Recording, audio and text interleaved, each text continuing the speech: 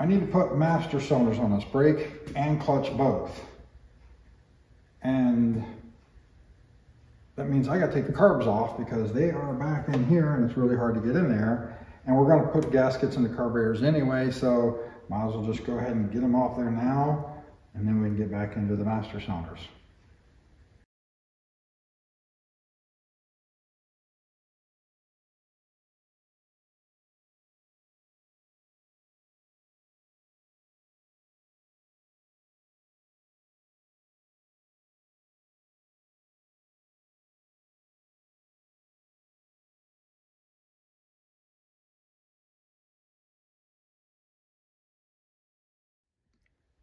So of course the hardest one to get to, the one on the inside bottom of the front carb here, was the one that the nut just would not come off without a wrench all the way to the last thread. Kind of seems how it goes usually. So as you can see on these big Healeys, the clutch and the brake master cylinder are hiding back down in here, back behind where the carbs are, and they pull their fluid from this combined reservoir here with two lines going one to each one.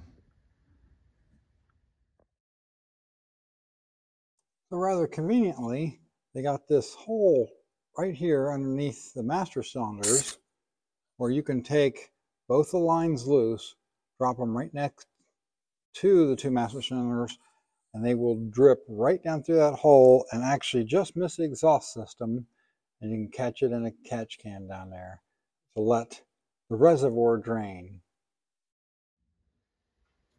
So once you get these things drained, or while they're draining, you can get the clevis pins out. Now in this case, uh, both of these were seized solid, so I couldn't push in to collapse them to get in to actually see these very well and get my big fat head in there and work on this. So they were a little difficult to get the cotter pin or the, the pins out of. But now to look at the condition of these and obviously this one definitely needs replaced. This one, while in much better shape, should still be replaced. So we'll put new ones of those while we're in there. Of course, the clutch will get used a lot more often than the brakes usually and see more wear. Now, both of these were hopelessly unsalvageable, and this one just lots of uh, corrosion falling out everywhere once this came apart. So yeah, these are both junk and we got some new ones to replace them with.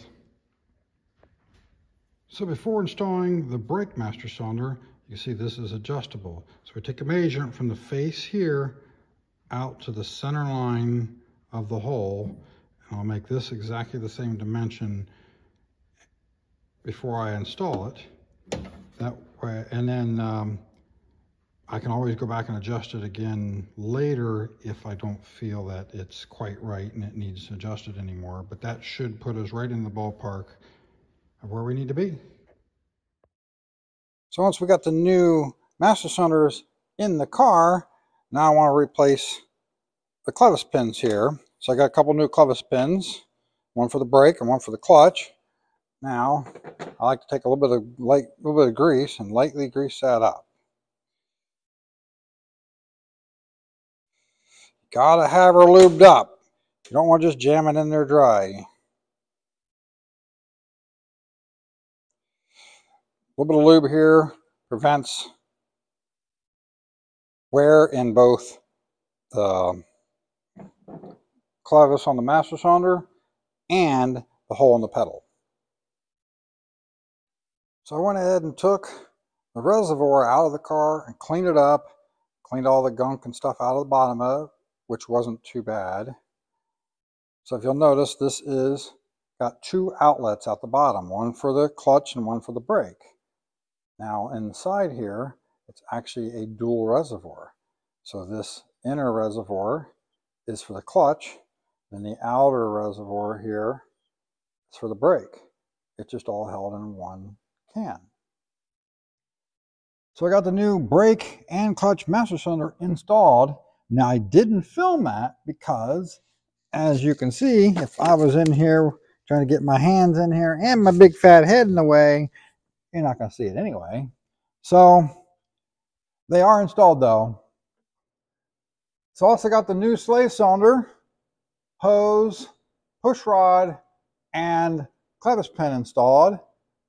So now we need to get the situation sorted out on the rear wheel cylinders and then the reservoir can be filled up, we can bleed everything out and get everything working.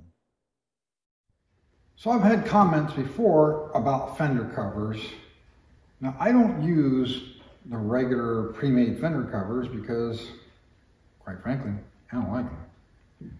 Seems that they always slip and fall off the car and they don't fit the cars that I'm working on. And then of course, when you got these fender mirrors, they just, yeah, I don't like them.